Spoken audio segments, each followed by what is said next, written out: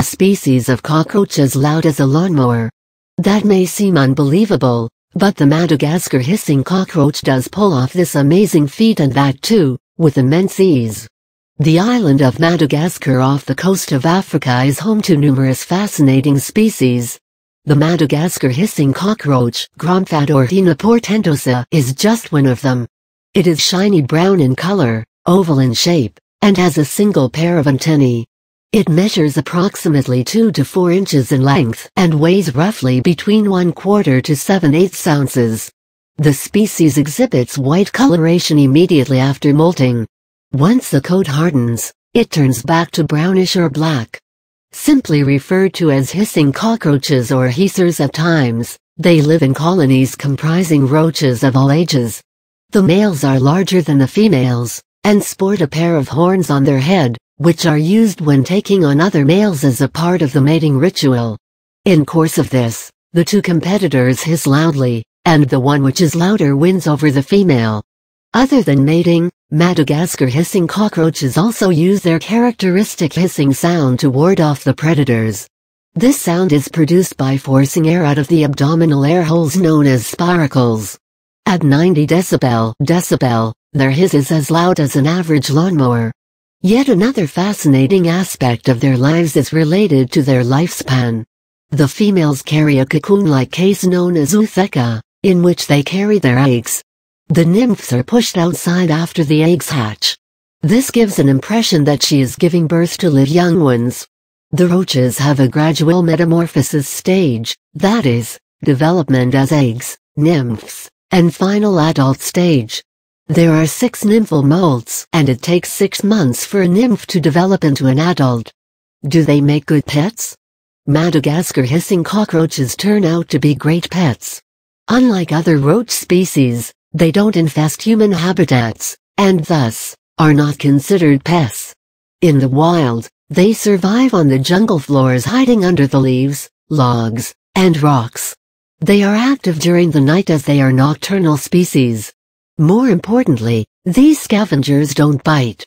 In fact, they slowly walk on your hand, without harming you in any way. You can even train your roach to run a maze or step on a lever. During the active period, use food or water and train them to do such simple tricks. If you are planning to keep them as pets, then the following instructions may prove helpful. Choose a plastic bin or glass tank to house your Madagascar hissing cockroaches. Smear about 3 inches wide strip from the top with petroleum jelly, olive oil, or any bug-stopping product. It will ensure that these roaches, which are efficient glass climbers, don't escape.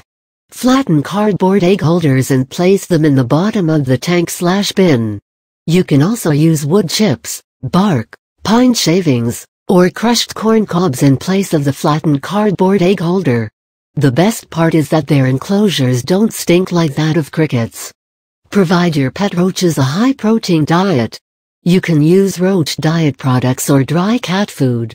Place water at the bottom of the tank in the form of water gel. This will not stink like wet sponges would, and more importantly ensure that the young roaches don't drown. Carrots, apples, oranges, leafy vegetables, fruits, etc can be given to the roaches once a week. Do not let the leftover food material lie in the tank for more than a day. It can lead to growth of mold and that will be fatal for your pets. The temperature of their housing should not be below 66 degrees Fahrenheit as they tend to become sluggish at such low temperature. Being tropical species, they need a warm climate, and therefore, the day temperature should be maintained at 85-95 degrees Fahrenheit. These roaches breed at temperature of 85 degrees Fahrenheit or higher. Pick the roaches gently around the thorax region. Madagascar hissing roaches have feet with sticky pads and hooks that grip tightly. Thus, make sure you do not pull the roaches out. That might cause some injury to them. If you observe tiny light-colored insects on your roach, it means your cockroaches are infected by Gromphadorholaelaps schaefferi, a species of mites.